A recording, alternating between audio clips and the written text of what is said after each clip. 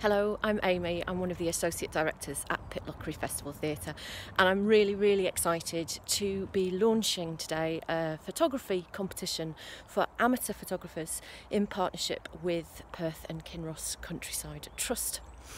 It's as part of our Shades of Tay project, TayKen By Me. The name for our photography competition is a celebration of the amazing landscape in and around the River Tay. There are five categories, each with prizes, and all photos should be taken between today, 1st of October, and the 31st of March 2021. All photos should also be taken in the vicinity of the River Tay, and we recommend Perth and Kinross Countryside Trust River Tay Way as a brilliant start for your adventures.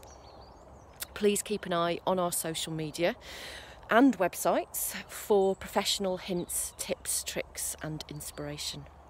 And for more information, please do see the website where full terms and conditions um, will take you through everything you need to know. Um, please enjoy getting out into nature, even on dreary and dreary days like today, and good luck.